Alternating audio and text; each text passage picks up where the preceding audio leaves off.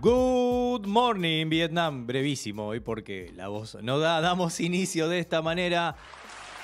Directo, directo a los contenidos, directo a la información hoy, como se podrá escuchar y quizás también visualizar. eh, el estado de salud no es el mejor, pero aquí estamos para compartir una nueva jornada del noticiero. Hoy, viernes 2 de junio, ya entramos en la mitad del año, el mes, el mes que marca el antes y el después en este 2023, 11 y cuarto de la mañana en toda la República Argentina y le damos la bienvenida a ustedes donde quiera que estén en cualquier parte del mundo y tal vez en otros mundos, multiversos, donde sea que quieran creer, allí estará el noticiero y allí estará la información.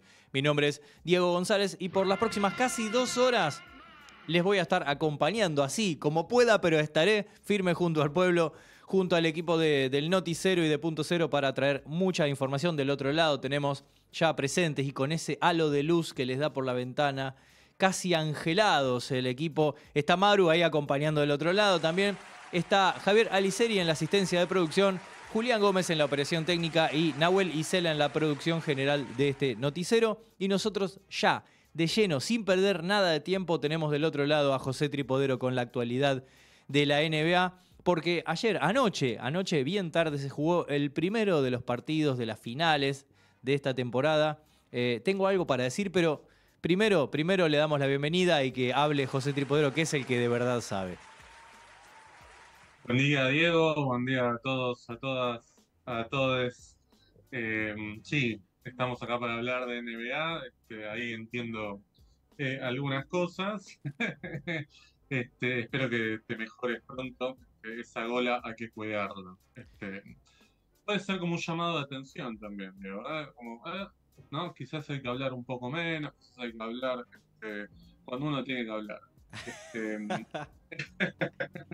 Pero bueno, vamos a hablar de NBA, si querés, o si me querías comentar algo primero. este, No, no, habla porque yo estoy, est- estoy en un modo. Dale, dale, hablo yo, hablo yo, Estoy, hablo indignado, estoy muy metes- indignado y lo que voy a decir en- es fuerte. Prefiero tirarlo después. Bueno, está bien, dale, dale, juntar energías para el final de la columna, si no. Bien, hablemos primero de algunas cosas que quizás puedan quedar como viejas, porque sucedieron el fin de semana anterior y ya estamos en otra instancia. Como bien vos decías, ayer ya se jugó el primer partido de estas finales de la temporada 2022-2023 de la NBA. Pero hay que decir que el sábado fue probablemente el partido más electrizante de las últimas temporadas de la NBA, me animo a decir, que se jugó en el estadio de Miami, ganó Boston 104 a 103 con esa especie de secuencia final en la que Boston parecía lo tenía ganado, Miami eh, con una especie de racha de 6 a 0 logra este, imponerse en el marcador, pero le quedaba una última jugada a, Boston y eh, White con un apenas un empujón cuando quedaban tres eh, centésimas de segundo le dio la victoria a Boston y además eh, levantar de manera épica una serie que estaba perdiendo 0-3 y la empató 3-3, tenía la ventaja de jugar el séptimo partido como local. Nunca en la historia un equipo que estuvo 0-3 logró dar vuelta a la serie. Sí pasó con equipos que estuvieron 1-3, por ejemplo. Cleveland en esa serie final frente a Golden State, cuando estaba 1-3, y de la mano de LeBron James y de Kyrie Irving, lo dio vuelta y se terminó llevando el, anillo. Pero aquí Boston no pudo este, hacer historia, cayó de manera lastimosa, podemos decir, el día lunes en el séptimo partido en el TD Garden, ganó Miami 103-84, un partido bastante flojo donde se pudo evidenciar mucho nerviosismo, sobre todo de parte de Boston.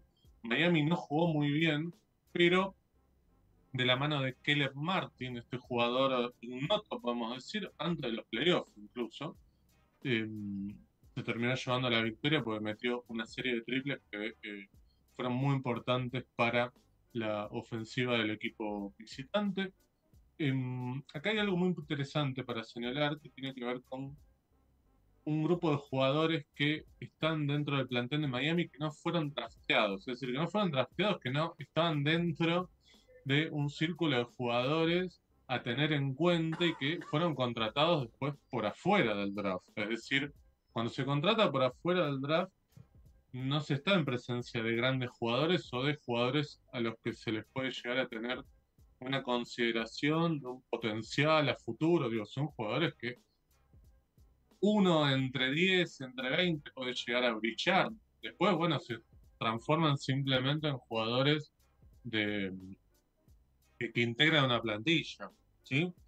Eh, en el caso de Kellen Martin, es una sorpresa lo que está demostrando en, estos playoffs. Lo mismo Gabe Vincent, este, este base, que, está alternando buenas y malas, ¿no? Pero quiero decir, son jugadores que eh, no se esperaba demasiado, pero están eh, acompañando muy bien a Jimmy Butler y a Bam Adebayo, son los dos jugadores de los que sí se espera muchísimo, que están eh, jugando muy bien, sobre todo Jimmy Butler.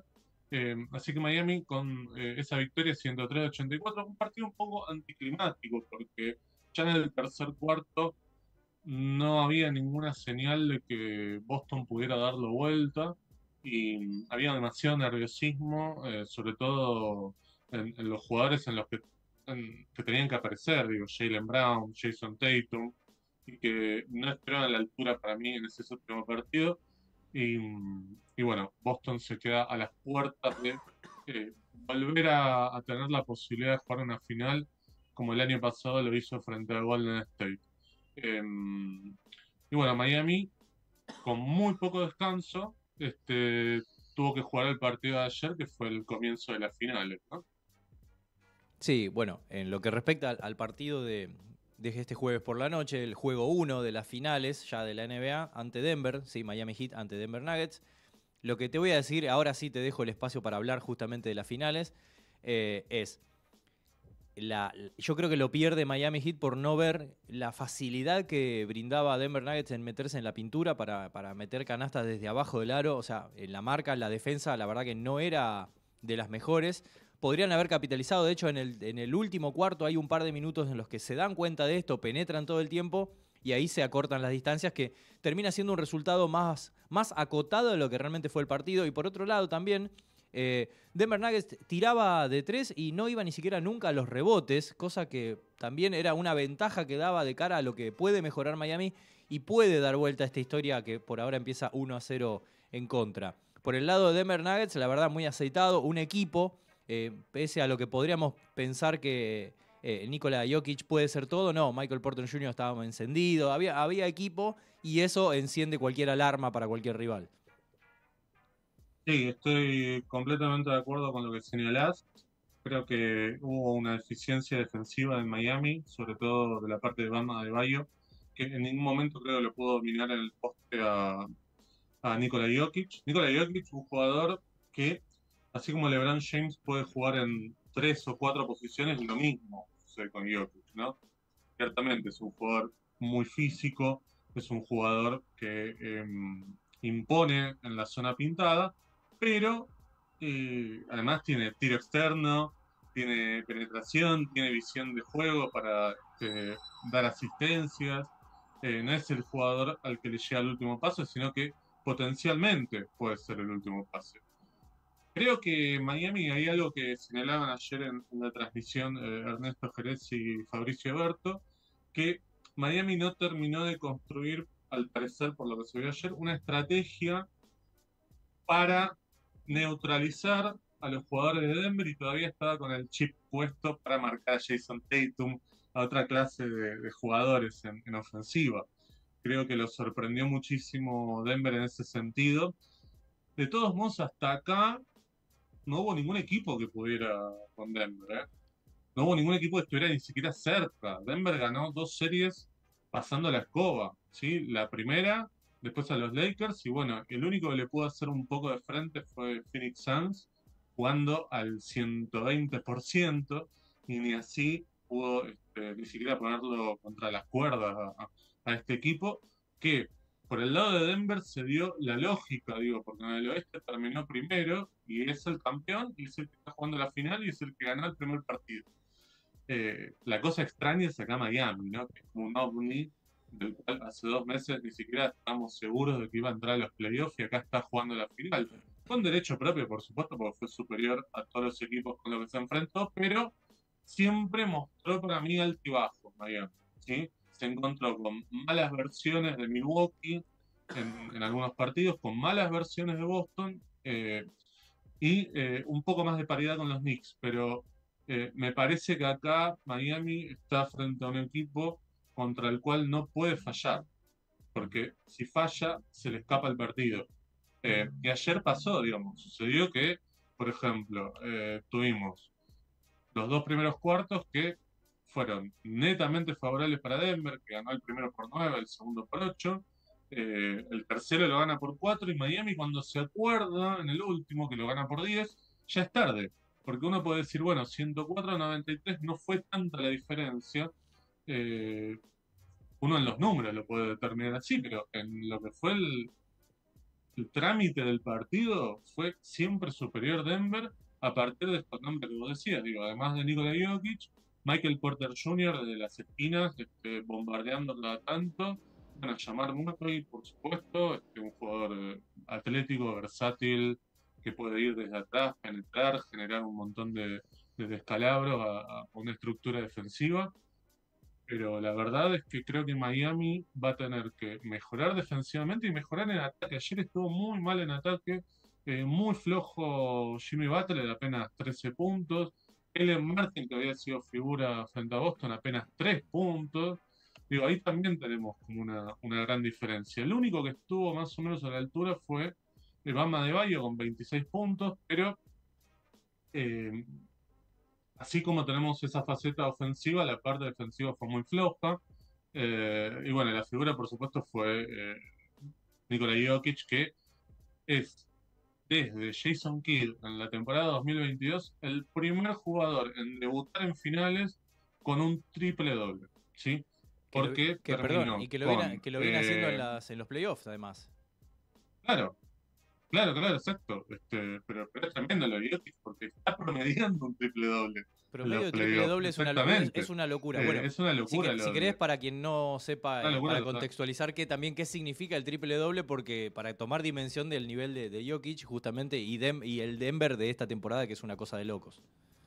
Claro, un triple doble es cuando se marca una doble decena en tres facetas, digo, puntos, rebotes, asistencias, que es lo, que es lo habitual. Em, por ejemplo, eh, en el caso de Jokic, Ayer eh, marcó 27 puntos, 14 asistencias y 10 rebotes. A veces puede ser que con bloqueos eh, también se marque un triple doble, pero lo habitual es puntos, rebotes y asistencias. Sí, em, doble dígito en tres estadísticas personales. Exactamente. Ahí lo dijiste mucho mejor que yo.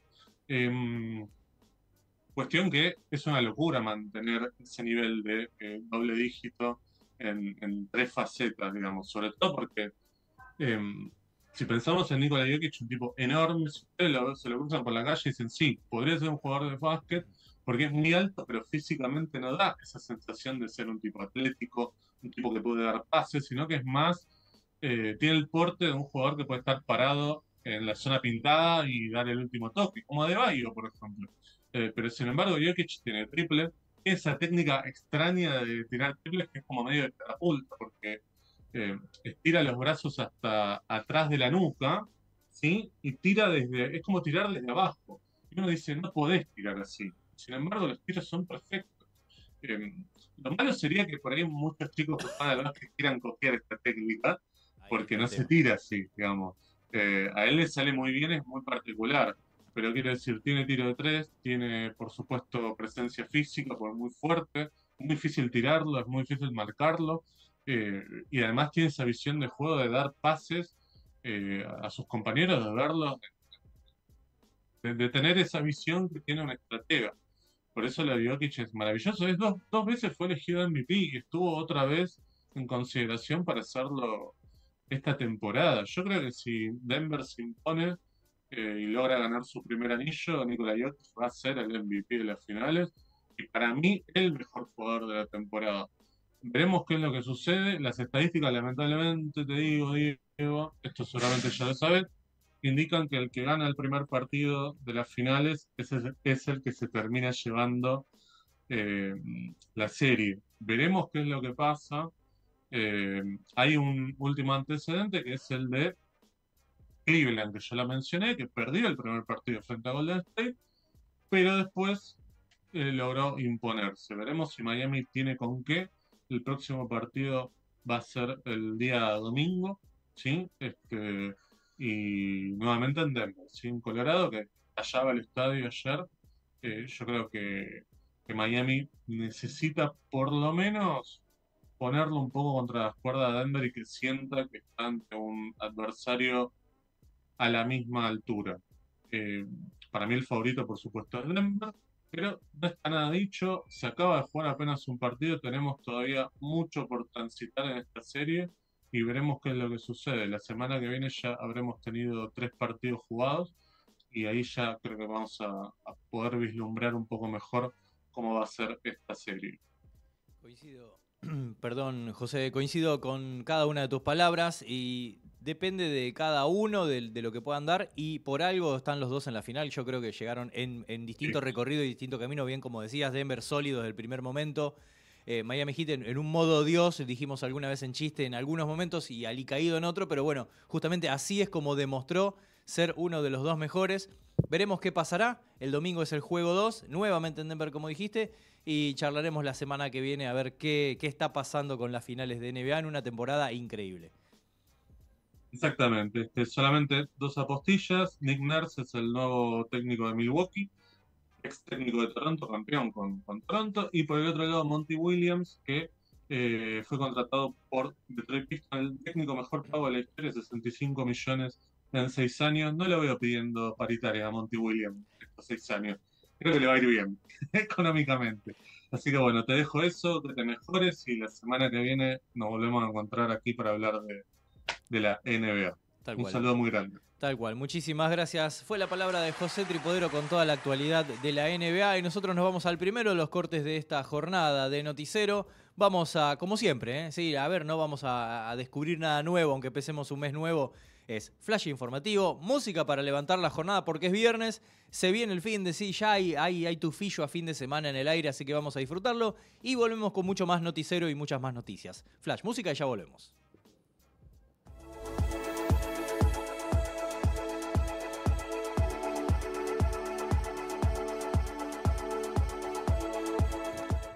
Aumenta el transporte. Las tarifas de colectivos y trenes del área metropolitana de Buenos Aires, AMBA, aumentaron 8,6% en junio y el valor mínimo del boleto de colectivo pasa de 42,57 pesos a 46,35 pesos. En el caso del tren, la tarifa queda en 22,51 y en 29,12 pesos según las líneas. Dólares chinos. El ministro de Economía, Sergio Massa, acordó con empresas chinas desembolsos por casi mil millones de dólares. Los fondos serán destinados a la represa Jorge Sepernic en Santa Cruz, plantas depuradoras de AISA y distribuir energía en el AMBA. Ocho años y muchas más. En distintas localidades del país, este viernes y sábado se movilizan mujeres del colectivo Ni Una Menos a ocho años de su creación. La consigna es terminar con la impunidad y pronunciarse contra las violencias por cuestiones de género. Brasil por la igualdad. El Senado aprobó el proyecto de ley de igualdad salarial entre hombres y mujeres. Hasta el momento, las mujeres en Brasil perciben 20% menos de ingresos en relación al mismo trabajo que un hombre. Pequeño gigante. Este viernes, desde las 11.35 horas, Diego Schwartzman enfrenta a Tsitsipas por la tercera ronda de Roland Garros. El sábado, Cerúndolo, Olivieri y Echeverry juegan para avanzar a la siguiente instancia.